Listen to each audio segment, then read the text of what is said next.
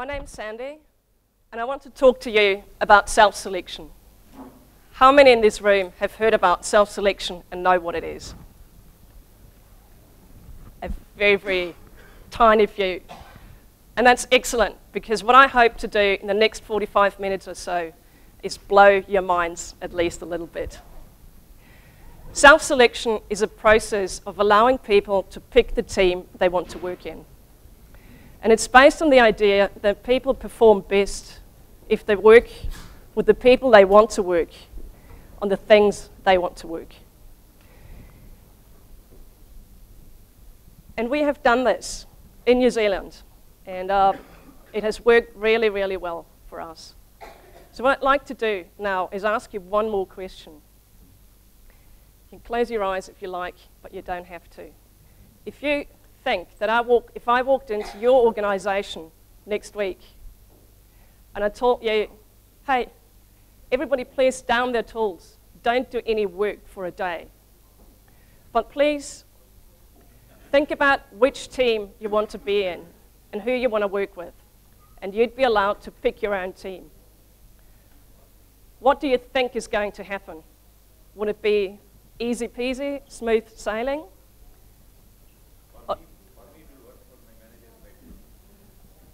Yep, I'll talk to you in an hour. or do you think it would just be complete chaos and would never work? If you think it won't work in your organization, just raise your hand. Very few people. I promise you, in 45 minutes, more of your hands are going to go up. I want to talk about a time where we did exactly that, where I worked with uh, with TradeMe, which is New Zealand's biggest e-commerce provider. And with, it's a company of now 450 people, and all 450 of them have, cho have chosen themselves. Hello over there. And all 450 people have chosen themselves which team they're working in. And against the backdrop of this one story, I wanted to share some ideas and some concepts with you about how self selection could work. We have done this with 250 people in a room at the same time, and it worked. Let me know if it moves again. Sweet. So, what I want to do is tell you a story about TradeMe. TradeMe is New Zealand's biggest e commerce provider. And I want to tell you that story to be the backdrop of which I want to share some concepts and ideas around self selection. We have learned a lot about this. We have learned a lot from our very first self selection. And we have taken this to a huge number of subsequent self selections that have worked well. And the good thing about sharing, the good thing about blogging, about taking the time to write a book, to uh, write a self selection kit, to get people to share experiences, is that ideas spread. So far, I know of 5,000 people in more than 450 teams in over 10 countries that have chosen their own teams and have picked who they want to work with. And that's just the ones I personally know of.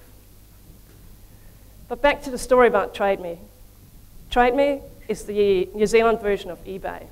We sell pretty much everything. We sell property, we sell motors, and we sell anything that's used or new anything anyone might want or doesn't even want. We are now around 500 people, and we also conduct, or we also um, are responsible for about two thirds of New Zealand's internet traffic. We also sell 3,000 chickens every single year. And I'm not telling this to brag, but I just want to give you a scale of what we are facing and a scale of things around um, something that is quite risky in a company where you know that if you bring down the site for even 10 minutes, you're going to be on the front page of the national newspaper. And TradeMe is a really successful company, but it had one problem, and that problem is success. If you're successful, what happens is there's more work to do. If there's more work to do, you hire more people, so you grow. And that's great. But it's also really, really painful because there's a tendency to introduce a certain element of chaos. And what we were facing was something like this for our projects. It's basically stop, go, stop, go. And the reason that was happening was because of the way we were organized. Whenever there was a new project, we found people to get together and deliver that project. And then for the next project, we found people again. Problem with that is that whenever you finish a project, the other people you're waiting for aren't necessarily ready. So you're waiting for someone else. You finish development and you wait for a tester who's still busy with something else. So we knew we needed to change something. Because even though we were deploying twice a day, we were really bad at getting the bigger stuff out the door. So what we knew was we needed to have stable teams, small cross-functional stable teams. And it's not something that we just wanted because we liked it. We had a problem and we wanted to have a solution for it. But we also knew that stable teams perform way better than teams that are being stopped and started at every project. There's some research done by Rally, which used to be a project management software for agile projects. And they looked into the customers' data and they found out that teams that were 95% or more dedicated had almost twice as, as much throughput as teams where people were on and off or where people were on more than one teams. But with those 60% higher performance, that's all very nice. And it's especially nice if you are Spotify and you're born agile. You're any of those younger tech companies where you don't have this huge legacy. Your own team's already, so you can make some changes. But what about the rest of us? We basically had a pile of people. We didn't have teams. And all we knew was we wanted and needed to get into stable teams. There's more research, and uh, the number 60 seems to be magic here. And that research is by a guy named J. Robert Hackman. He looked into counterintelligence teams, and what he found was the 60% of variability in performance came down to team design. And that just doesn't mean the right skills. That means the right team size and the right people who can work together.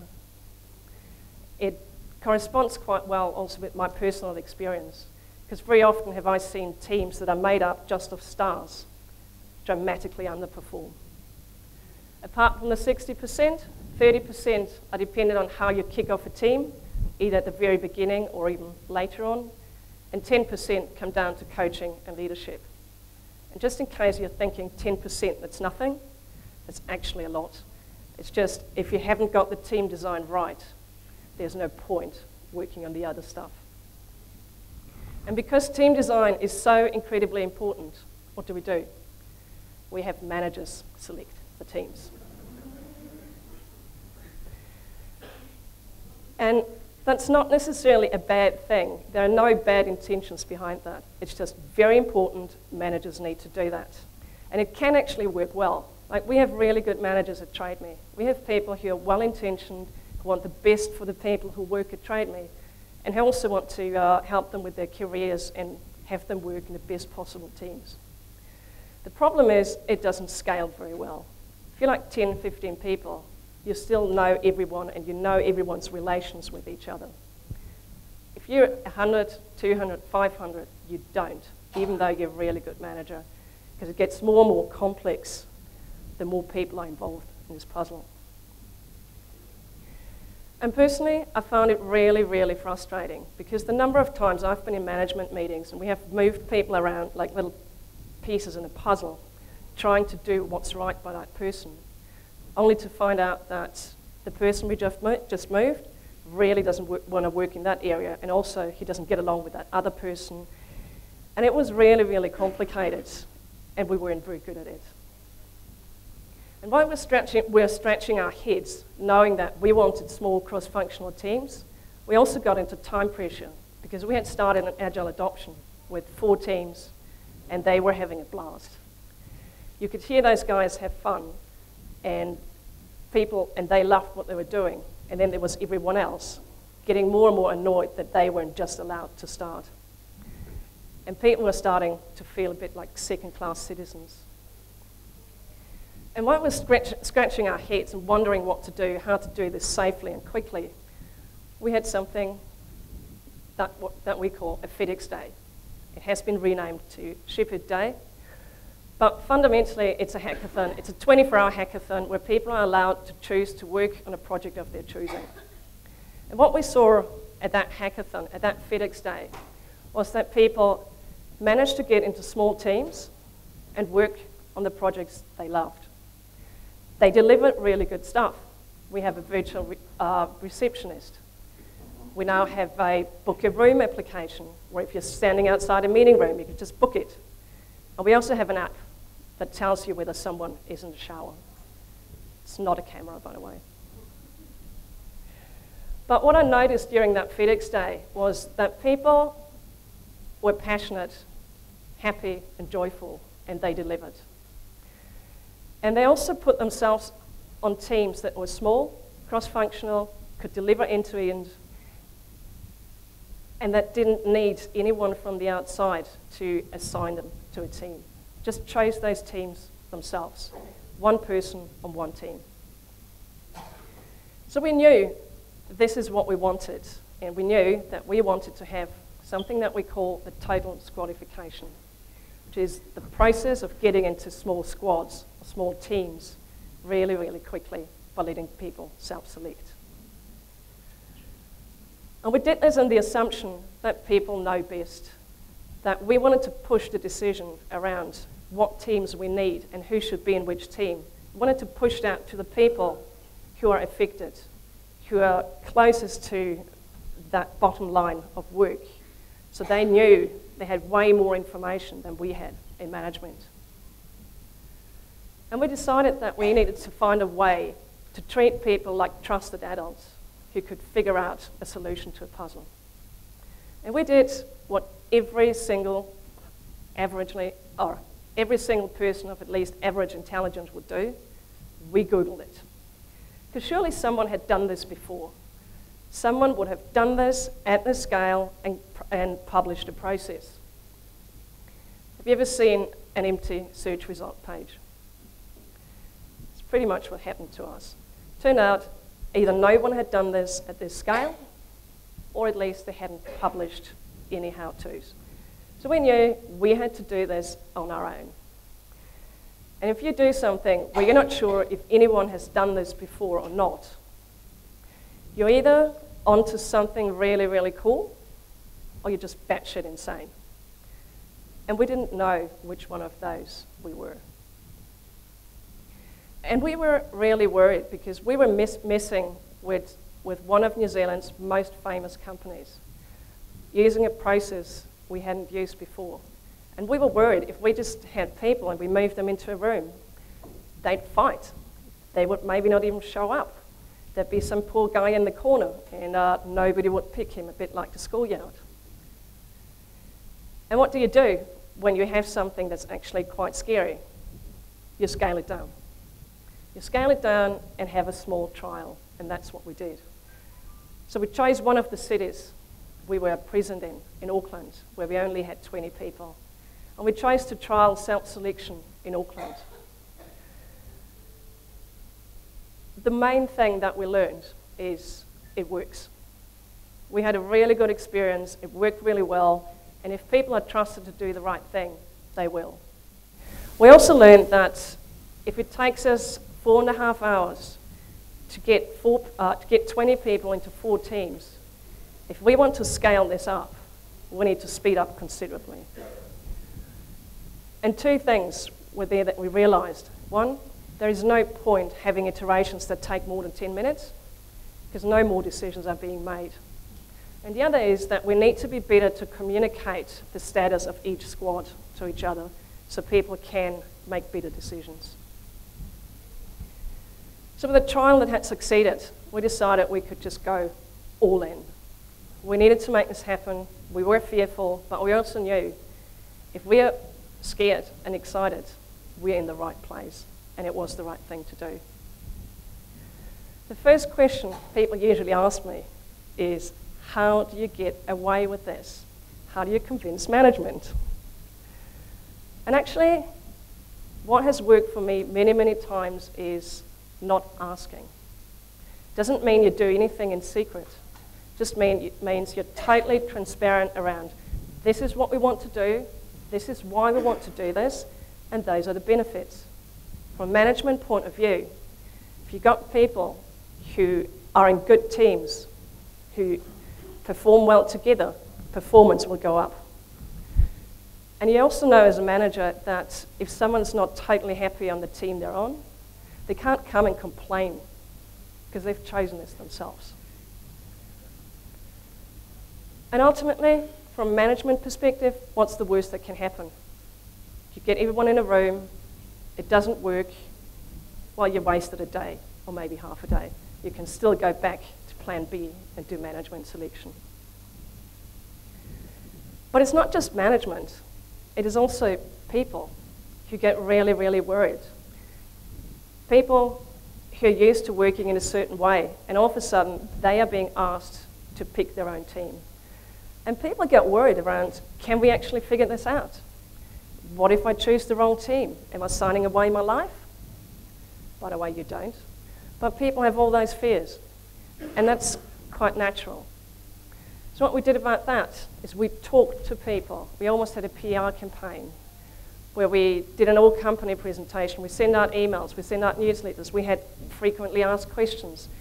And we talked to every single person who was interested in talking to us. What I did find really, really interesting was that there seems to be almost like the stages of mourning, a process that every single person is going through, including us. Well, whenever you mention the concept of people picking their own teams, everyone goes, whoa, and after a little while, when they have thought about it, people start to think, well, what if this doesn't work, or that doesn't work, or that doesn't work? And a little while later, they said, what if it actually does work? Wouldn't that be totally amazing? And then they go to the latest stage where they decide, well, so how are we going to make this work? And the main thing around making this work is to be prepared. This is the head of the PMO and me. We're looking out over the harbour in Wellington, New Zealand, trying to figure out how the hell we would come up with a process that would make this possible to have 150 people in a room and make themselves select. Because we also knew that this needed to be well facilitated or people wouldn't trust us and it could easily end in disaster with people fighting and not working. Here's a brief overview of the process that we came up with. I know you can't read that, but I'm going to share it and I'll talk you through. But the basic idea is that um, there's some preparation phase. And then on a day, everyone is being led into a room. And while they're there, the first thing that happens is that the product owners pitch for their teams. They have two to three minutes to explain what their squad is about. When that's done, we take 10 minute iterations where people choose which team they want to be in. Then there's a break where there's feedback, see which squads are missing something and which ones are complete, and then another 10 minute iteration. And we're done when either all the squads are fully, fully formed or you can't make any more squads. And the first thing that's actually not that easy is defining squads if you're coming from a project organisation where things start and stop with projects, you basically have this pile of people. You don't really know which squads you need because you want them to be lasting longer than just a project. You want a group of people who have a purpose, a purpose where they can do many projects. They need to have a purpose and a mission, and this is basically structuring the organisation. And we also tried as much as possible to give those squads an external purpose. Because really what we wanted was people who would buy into their squads and also what they're working on. So all of them had an external facing purpose, like a customer facing purpose. For example, we had a seller squad that made, it, made life as great as possible for sellers and Trade Me. There's a property buyer squad taking care of property buyers and so on. So we ended up with 16 of those empty sheets of paper that we needed to fill. And there's actually more to just having an empty sheet of paper because we're quite deliberate around the size of this. One of our constraints was we didn't want to have more than seven people in a squad. So with the photos we had, there's no way you can get more than seven people into a squad. And also, this is the only role, the product owner was the only role that was pre-selected. And we did that because the way we hire product owners, their knowledge is very specific. It's quite rare that someone who knows a lot about property selling and buying also knows a lot about cars and motors. So we had those people fixed, but everyone else could choose. And that was also the reason that those guys were taped to the squad, where everyone else was movable. We tried to keep the number of constraints really, really low, and this is what we had. Have people or squads be able to deliver end to end, no more than seven people, and we wanted them to be co-located. We're in three different locations, so sometimes it wasn't entirely possible, but we'd rather have a full squad in one city and another full squad in a second city rather than a squad that was spanning two of the cities. The day before, we had something that almost is, was Arts and Crafts Day, cutting out 150 people's photos. It's a lot of work, by the way. And we had little skills cards, because by keeping the squad small, we wanted to make sure that people didn't just remain within the specialties, but they could almost wear hats. They had skills that they could put on top of their photo, and this is something they could come and offer to squads. So on the big day, after lots of prep, after lots of convincing people, we were two facilitators who were ready, two backup facilitators who would help us read the room, and we're totally ready to go. This is the room, what it looked beforehand. We had the squad papers around the walls, making sure they weren't too close to each other. Because we wanted people to take the photo, put it into the squad they wanted to be in, and physically move there. We also said hello to every single person who arrived and asked them to take their own photo and write their name on it. We wanted the people to buy in from the very first second. And here is the very beginning where product owners pitch. Product owners, it really is two to three minutes, and it's just the mission and the purpose, not any particular projects and they tell people why they would be in that squad. All of this we did against the backdrop of a banner which says, do what's best for Trade Me. Because yes, we want people to be happy. We want people to work on whatever they want to work on. But also, really, we were asking for help. We were trusting people to solve a big puzzle and do what is best for the company, trusting them that they would do a better job than us. And once we were done with that, we just set a timer to 10 minutes and people started moving around. And we shouted go with the timer on the wall. This is what happens. Just pretty much nothing. It's really awkward because the first two to three minutes in every single self-selection that I have experienced, everyone's really cagey, waiting around, hoping that someone else will make a move. That's the time when you don't panic because three to four minutes later, this is what it starts to look like. People start interacting. People start talking to each other. They start talking through what ifs and how they can solve this big puzzle. If I go over here, what would that mean for that squad over there? After 10 minutes, we had a feedback round and we stopped and, so, and asked people to feedback what was happening in their squad. That'd be looking, that looks some, something like, hi, I'm Matt from the Seller Squad. We have three testers and one developer. We need developers, please. And that information could feed into the next round. By the way, I've never ever seen any company get this right in the very first round. I have seen squads with seven testers and nothing else. But the thing is, it's okay, because all you need is the feedback and those things to surface. And that feedback goes into the next round. It usually takes three to four rounds at that scale to get to a good result.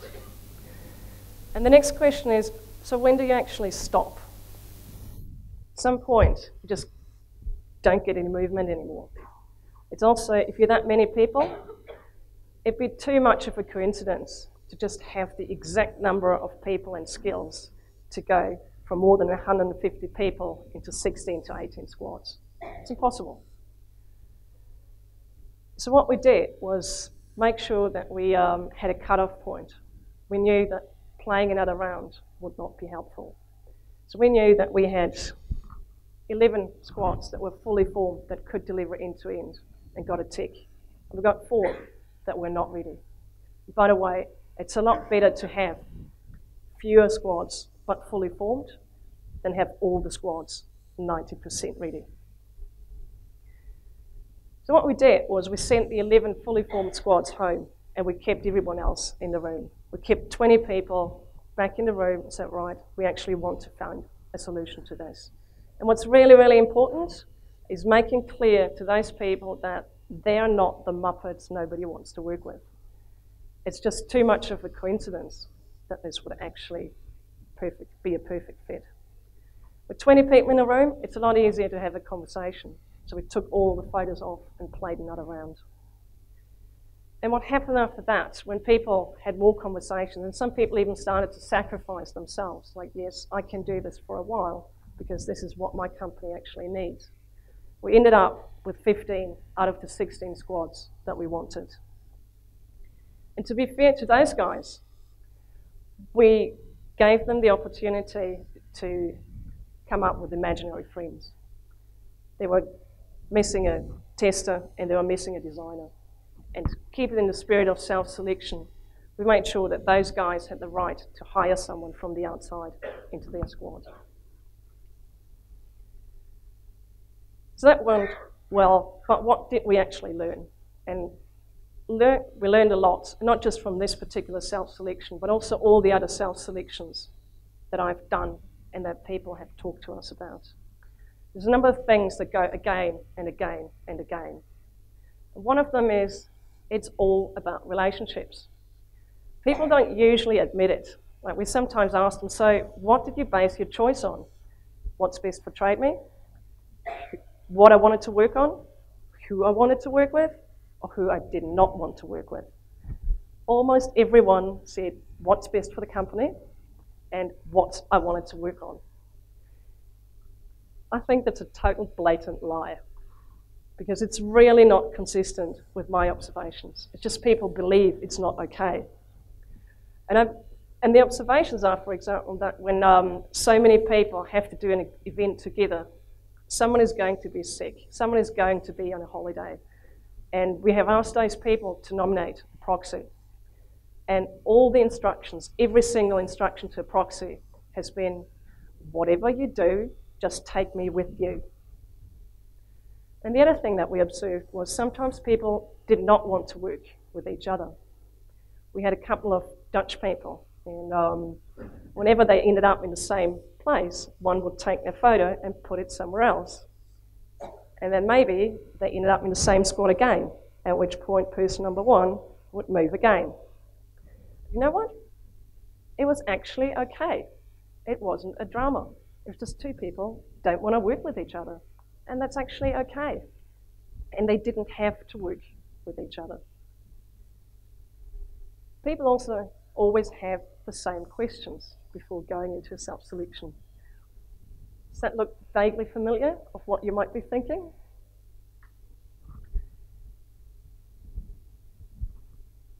I'm happy to answer those. Because most people aren't, are, what's front of mind for most people is so aren't people just going to get into fights? Aren't people just start arguing and bitching? You know what? They don't. Not a single time have they done that. And the reason is that when we treat people like trusted adults, they behave like trusted adults. And that doesn't mean that everyone got to do to be in exactly the squad they wanted to be in. There were conversations, there were compromises, and not everyone ended up in the squad they wanted to be in. But if they didn't, they all knew why they didn't end up in that squad. Some poor guy in the corner who doesn't get picked. Everyone seems to have the schoolyard image of someone trying to find a team, but they're not being picked. The thing is, in a self selection process like this, nobody picks. You put yourself into a squad and then you talk to people. There's no selection, there's no picking whatsoever. But we also take care of people who really don't know where they want to go. So we usually have a section that is not in a squad. Please approach me. How do you persuade management? Talk to them, manage the risk, and just make them part of it. And it works. But what has happened more and more recently is that we're being approached by managers who want us to do this for their organizations. And the main thing when you do this is people are fearful. People are not sure if they can actually sort this out. So, what we need to do is give people the confidence that the way they naturally get into teams is okay and they can totally sort this. They're also not signing away their lives. If they get it wrong and really want to switch afterwards, we can just make that happen. We'd ask people not to switch after uh, a couple of days, but also because they should give it a try. But if they really don't like the squad they're in, they can move on. And then there's the usual can you please add this constraint? What about should we have one junior, one senior developer? Should we have uh, a certain amount of domain knowledge? And it's really, really tempting to do this. But it introduces complexity. Every new rule introduces more complexity. And it also pushes us towards management selection. And very often it makes us not see solutions that might be in our face. And aren't there really unpopular areas? The thing is, if there are, wouldn't you rather know that they're really unpopular so you can do something about it? Also, they're usually different from what you think. Just because I think some piece of work is really boring doesn't mean that everyone else thinks the same. They usually don't. It's usually really surprising that different areas from what I thought would be unpopular. The only time I've ever seen self selection not work is when it's not true self selection. We have a saying which is liar, liar, pants on fire. If people pretend that there's self selection, if management tells people they can pick their team, but then suggest which squad they should be in, or I've also seen it when people have chosen their squads, and after that, management made some changes. And I believe it's better to not have self selection at all, but to have an honest management selection than to change something that people have done. So, four years after our very first self selection, how are things going? We track how things are going in our company by asking people a questionnaire every, a number of questions every three months. They're based on Daniel Pink's autonomy, mastery, and purpose, and what motivates people. We also added relationships and creativity at work. And what we have seen is that people, people's happiness overall increases. Of course, not in a straight line, but the tendency is that people like what's happening. We are now more than 45 squads, and we're still growing. And there's one thing that has been really, really important for the employment brand. People join Trade Me because they get to pick their own team. And that's really, really great. There's one problem with that. If you join after the self selection and you join because you can pick your own team, it's really unfair not to let the new people pick their own team. So, what we do is we start hiring into squads where they're assigned to a squad. But every six months, we have a new self selection where people can choose again where they want to work. It makes the choice a lot easier and a lot less risky. And you can do something and say, hey, for the next six months, I'm going to take some. I, I'm going to take one for the team or work on something that's not my first priority. And people actually do that.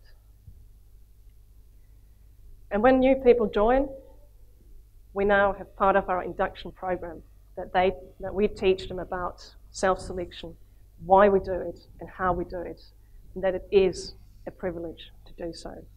And I think that's important. Knowing the history is really important because when we're stressed, most of us usually revert to command and control. So this is part of our culture now, and we want to make really, really sure it remains part of our culture. So why does it work? I think self-selection works because the people who have the most information make the choice. It works because people have skin in the game. They buy into this and that it works for them because they make it work. And also because we treat them like the trusted adults they are.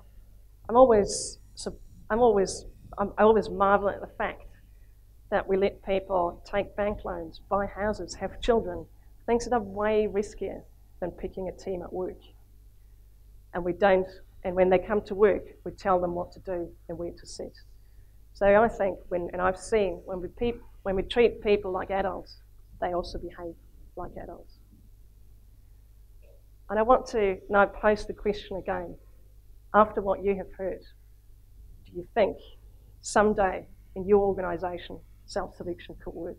If so, raise your hand. I hope, it's great to see that it's a lot more.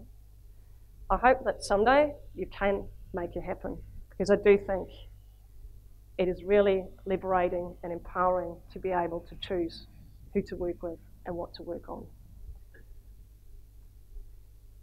And if you want to give it a shot, there's a how to in my book, and there's also how to on the blog. If you, there's just one thing I'd uh, like to ask you. If you do it, please drop me an email because I'm collecting self selection and I'd really love to hear from you and how you're going. Thanks.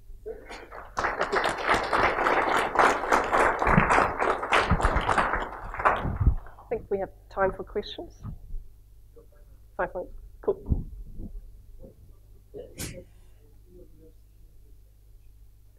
What are some of the problems I have seen or foresee with this approach?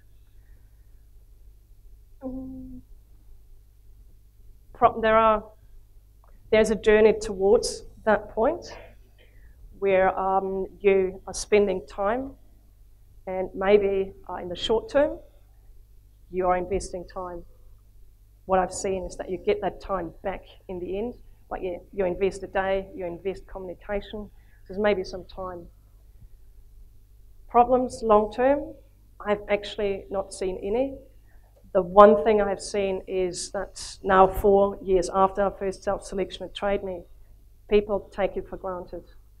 They go, oh, yeah, um, I'm here and I, it's my right to pick the team I want to work with. And they forget about the why that it is because they actually solve a big problem. Thanks.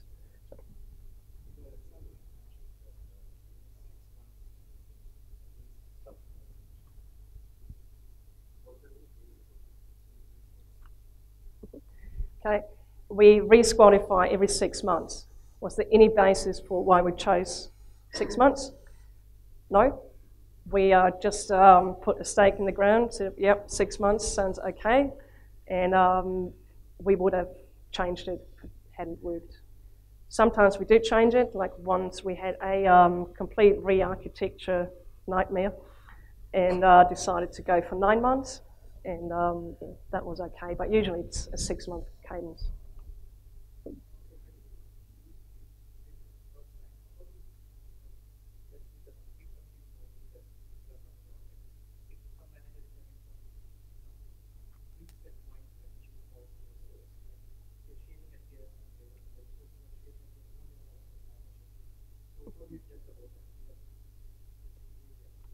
Okay, check if I understand it right. So how do you deal with the behavior if managers are trying to keep their own resources and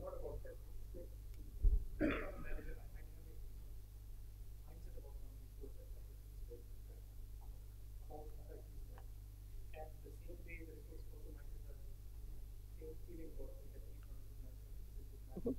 But you're talking about our level business, like when you keep the manager manager square, and then for another person is gonna work with you, so he might offline check or something like that.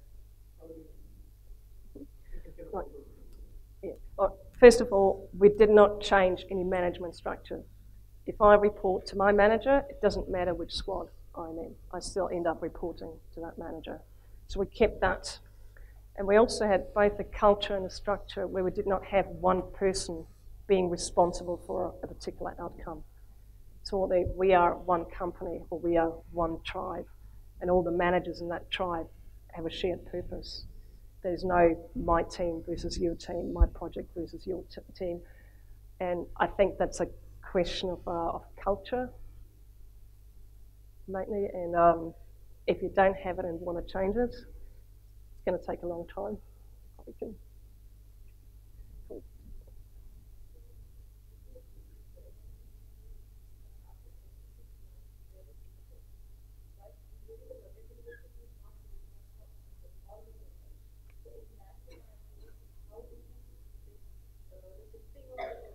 Mhm. Okay. Um, yes. How do you balance the a project that's longer than six months versus a squad that re-squadifies every six months? First of all, the all our uh, let's call them projects are way longer than six months because it's a per, it's a, per, a with a purpose. They stay together for years. The seller squad. And if we have if we re-squadify every six months, it's up to people to do what's responsible. If all six of you decide to do something else, that's not what's best for your company. So you ask them that question. I've also never ever seen that uh, entire squad, squad disbanded and went somewhere else. You usually have one or two people deciding to move on. Sorry, some people in the back.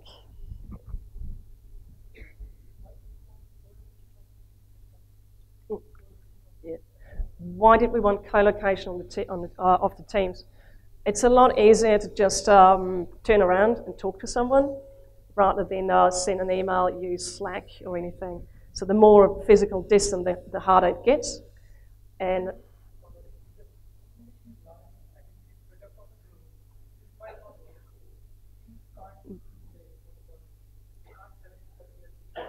um, in that in that case, I wouldn't do a self-selection around the globe. I would do a self-selection each location. Like there's a self-selection, there's fully formed teams in India, there are fully formed teams in New Zealand. And uh, we'd ask you to please not do a team that's half Indian, half New Zealand.